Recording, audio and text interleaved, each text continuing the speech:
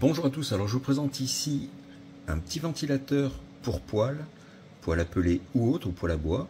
Il suffit de le placer sur la plaque qui est au-dessus de votre poêle pour qu'il se mette en route. Sans électricité, il fonctionne par effet Peltier. Vous avez sous l'appareil deux plaques Peltier qui en fait vont générer de l'électricité à partir de la chaleur et faire tourner le ventilateur CIPAL.